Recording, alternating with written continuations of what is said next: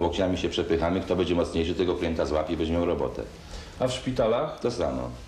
Idzie, idzie, idzie rodzina do tak zwanej statystyki po kartę zgonu i, no i, i pięknie wszystko, wie pan, żeby tylko tego klienta posiąść. No. To już wszedł na, na, duży, na duży rynek i tego, no to zostanie. Tutaj to nie ma szans w ogóle, wszystko obstawione już po prostu. Obstawione tak samo wszystkie szpitale, urzędy, także już nie ma, nie ma żadnych szans. Kto pierwszy, ten lepszy. Ogólna liczba y, osób y, zmarłych w mieście Łodzi y, w ciągu roku wynosi około 12 y, tysięcy. Tutaj mogą być nieznaczne odchylenia statystyczne. Y, Klepsydra y, z tego y, wykonuje rocznie około 2,5 tysiąca pogrzebów. Do tego jeszcze zgony na mieście, pogotowie i tak dalej. No to jest, to wie pan, to usiąść i książkę napisać. No ale niektórzy to robią i, i mają po prostu robotę.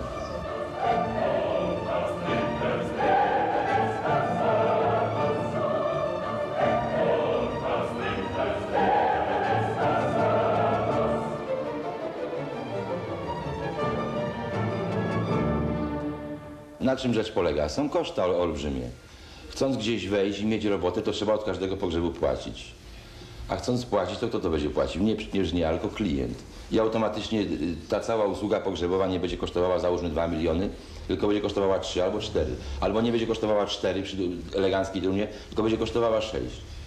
Ludzie o tym nie wiedzą i dlatego przepłacają i są po prostu prowadzeni jak te cielaki na rzeź. Taka jest prawda. Pracownicy y, nie mogą uchybić y, godności i czci y, osoby zmarłej. Zwłaszcza, że rodziny pogrążone w bólu i, i cierpieniu są niezwykle wrażliwe i y, niezwykle y, wyczulone na wszelkiego rodzaju y, uchybienia. Bo jak oni, załóżmy te trzy firmy przechwycą w Łodzi, nie wiem, 85-90% y, wszystkich usług pogrzebowych, to nam zostają co? Resztki. Zasadą, którą przyjęliśmy tutaj w sposób bezwzględny, to wręcz serwilistyczne podejście do, do klienta. Wydaje mi się, że po prostu powinno się robić wszystko, żeby, żeby na tym rynku zabłysnąć, i, i, ale drogą legalną na dzień dzisiejszy tego się nie da przeskoczyć. To by trzeba się bawić w, nie, w, nie, w nieładne jakieś tam...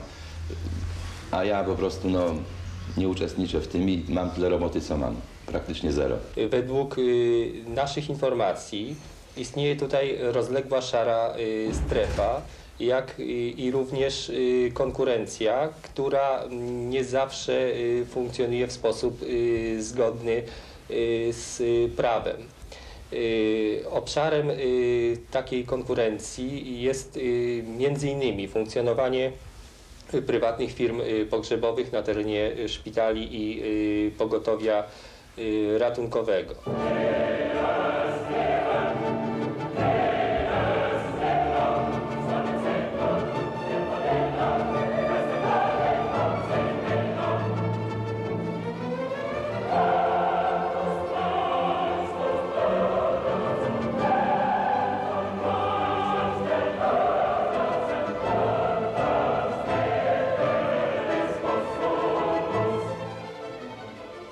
Z tego co mnie wiadomo, y, po powiedzmy zgonie w domu, czy ewentualnie jakiś, jakimś nagłym ataku i po wezwaniu przez członków rodziny y, pogotowia, właściwie już w tym samym momencie praktycznie dyspozytor na podstacji, czy też wojewódzkiej stacji pogotowia y, wysyła informację, to znaczy konkretnie telefonuje do swojej, nazwijmy to, firmy pogrzebowej, to znaczy firmy, która po prostu płaci za to. Współpraca pogotowia z zakładami pogrzebowymi trwała jakby od zawsze.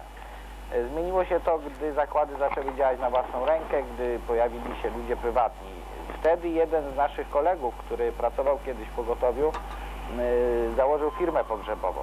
No i w tym czasie zamiast wzywać przewozy zwłok państwowe, y, no, y, za- nosiliśmy, prosiliśmy jego o, o, o tę przysługę.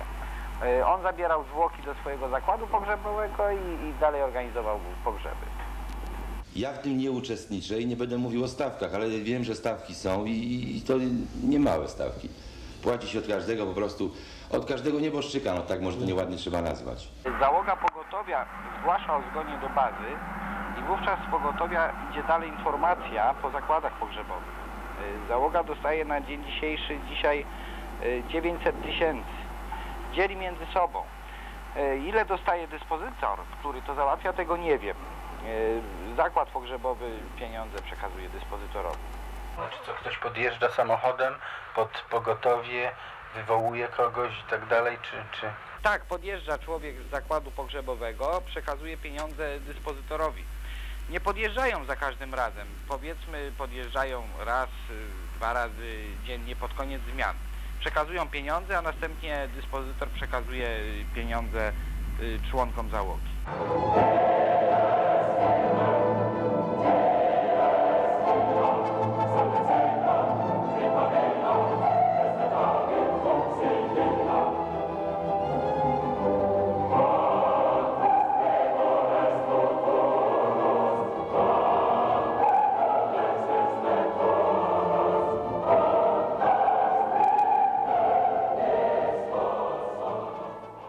Konsultowałem się w tej sprawie z przedstawicielem prokuratury wojewódzkiej, Rady Miejskiej, Urzędu Wojewódzkiego i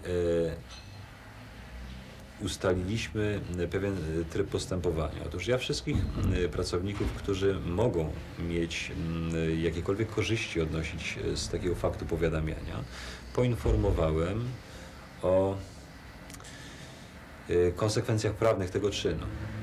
To jest to wykorzystywanie stanowiska służbowego do osiągnięcia korzyści materialnych. lekarz od państwa z pogotowia oświadczył nam, że te pieniądze, Interkom. że interkom, że telewizor, że coś jeszcze zostało kupione, że jakby poszły te pieniądze na wyposażenie. No. To znaczy nie, no my, my mamy swoje spadkowe pieniądze, my mamy. Ja, y, że tak powiem, y, tych pieniędzy nie trzymam jako, że to jest, y, że to są wspólne pieniądze. Y, Ja oficjalnie, mogę powiedzieć jeszcze raz, oficjalnie jako w rozmowie, że ja wręcz z dyrekcją ZOZ-u podjęliśmy przeciwne działania, że ponieważ to jest sprawa y, uważamy za bardzo w tej chwili nieuregulowaną, śliską, pozaprawną, więc e, że tak powiem, e, chcielibyśmy zobligować, bo e, ewentualne tam, gdzie są, to są, jeżeli są takie działania, to one są y, na dzień dzisiejszy nieuregulo- nieuregulowane. Nie wiem, czy jest u nas większa czy mniejsza skala niż gdzie indziej. Wiem natomiast, że y, łódzka, wojewódzka stacja pogotowia ratunkowego nie podpisała z żadną z firm pogrzebowych jakiejkolwiek umowy. te pieniądze.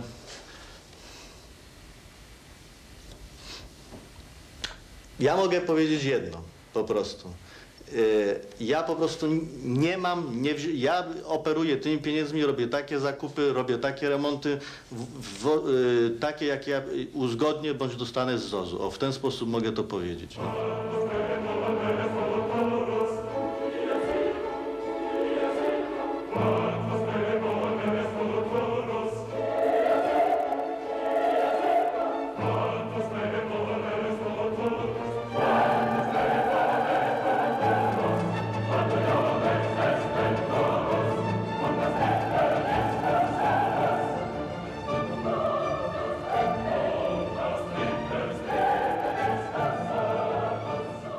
Nie tylko pogotowie uczestniczy w tego typu działalności, nie tylko pracownicy pogotowia, prawda? To się dzieje w szpitalach, poradniach nawet. Yy, W związku z czym, wie pan, na to nie ma wyjścia. 39, 44, 48, 48, 51, 52 zgony we wrześniu, przy 52 zgonach. To znaczy albo pacjent już zmarł przed, prawda, lekarz pojechał do stwierdzenia. 52 zgony mieliśmy.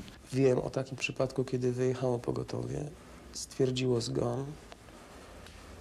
Potem nie wiadomo, czy była to śmierć kliniczna, czy po prostu po nadmiernym, nadmiernej ilości śro- środków pobudzających y, pacjent po prostu odżył. No.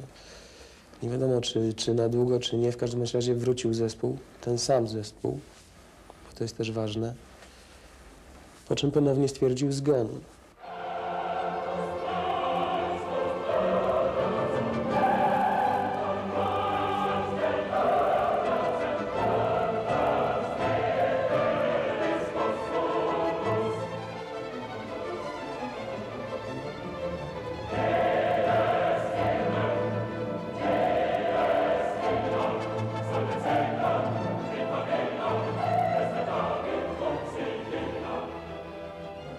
Jesteśmy w stanie w jakiś sposób tego ani uregulować po naszej myśli, ani przeszkodzić, y, że tak powiem, y, temu zjawisku. Ile firm pogrzebowych działa w ten sposób, że przekupuje pracowników służby zdrowia? Wszystkie.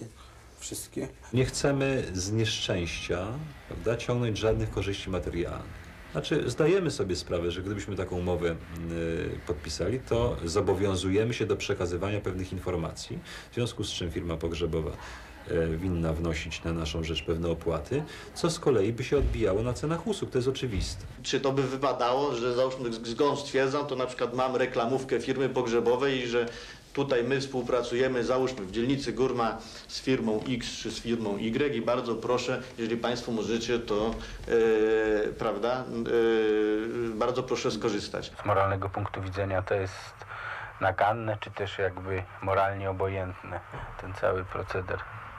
A czy sądzi pan, że y, bardziej etyczne byłoby, gdyby przyjeżdżały zakłady pogrzebowe i przechowywały y, zwłoki w niegodziwych warunkach? Zwłoki były przechowywane w stodołach, piwnicach.